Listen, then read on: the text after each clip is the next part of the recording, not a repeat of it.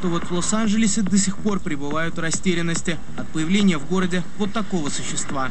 И хотя агрессии оно не проявляло, люди все равно вызвали на помощь полицию.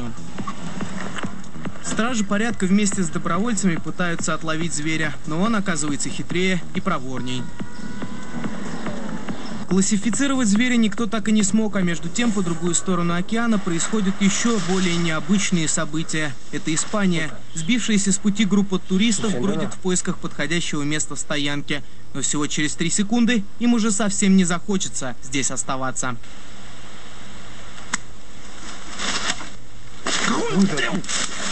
Объяснить это пока никто не смог, а природа между тем подкидывает новые головоломки. Это одно из первых видео непонятного существа под названием Чупакабра, что в переводе означает «козий вампир».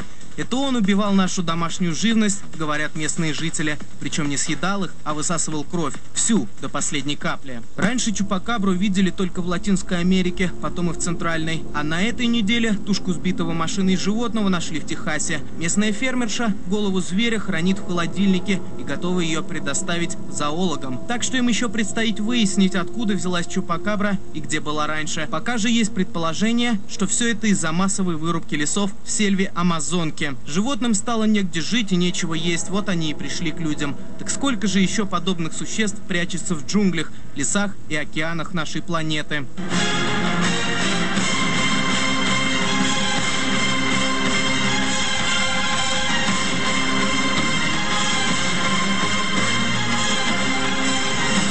Местные рыбаки находят на берегу останки неизвестного существа. Они еще свежие, месяца два назад зверь был жив. Судя по костям, говорят исследователи, это плеозавр. Но ведь он вымер миллионы лет назад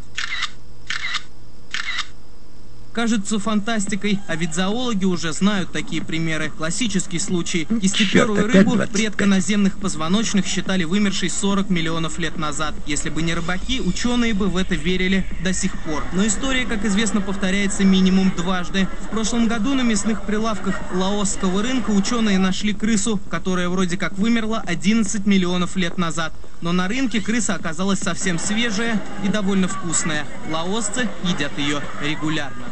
Примерно то же самое произошло и с андской тигровой гончей, двуносой гончей. В боливийских Андах ее разводят сотни лет, а мир узнал о ней только сейчас. И собакой, у которой должно быть сверхобоняние, всерьез заинтересовались военные. Впрочем, в тропических лесах ученые каждый год находят десятки новых видов животных. Только за последние 10 лет было открыто почти 600 невиданных доселе зверей. Дымчатый леопард, карликовый слон, хорька-барсук или психоделический осьминог и еще сотни и сотни других существ были предъявлены миру совершенно официально. Что же касается тех, кого не поймали, видимо, им придется еще долго быть вне науки. Михаил Шкаян, Ирина Матвеева, в центре событий.